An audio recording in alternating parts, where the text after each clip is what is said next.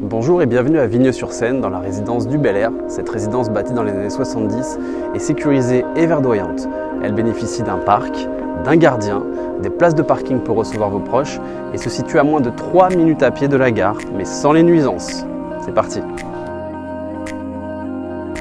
Aujourd'hui, je vous fais visiter cet appartement très lumineux et très spacieux puisqu'il mesure 75 mètres carrés, bénéficie de deux grands balcons, une place de parking et une cave privative. Il se situe juste derrière moi au quatrième étage avec ascenseur bien sûr et c'est parti pour la visite.